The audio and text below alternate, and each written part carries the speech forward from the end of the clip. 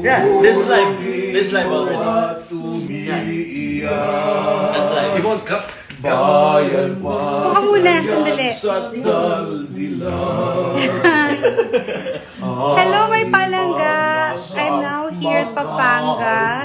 We're gonna be shooting for the Mama Sapano Sa 44 movie. And I will be playing the role of Erica Pabolina. Just a cameo role, short lang talaga. But, tignan naman, I'm one of the boys. I'm, I'm with all boys now. So, introduce yourself. So, Hi, very popular.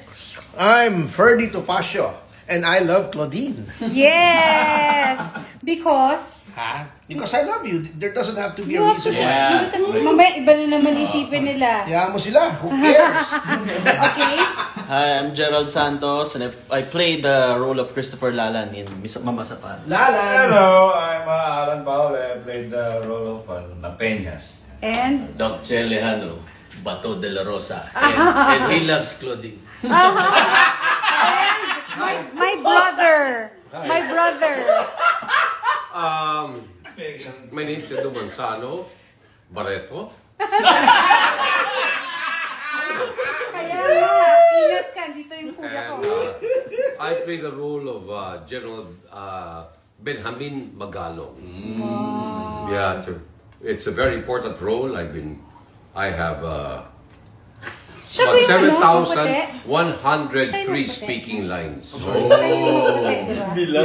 Yeah. Pangalan? Magkano? How many letters? It's like He's seven, so How many nice. letters? Sila na bilang ko. Idol ko po si Hindi, because Magalong. Napakabait 7,103 is the islands in the Philippines. So, say good night, everybody. Please support our movie. God bless Palangas. Good night, Love you, guys, Along and din. I love Claudine. Yes.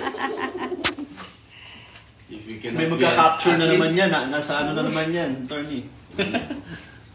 Please support us. Okay, Christopher. Paano to i-save? They support us, guys. I love Claudine. Yes, he loves. It's still online, actually.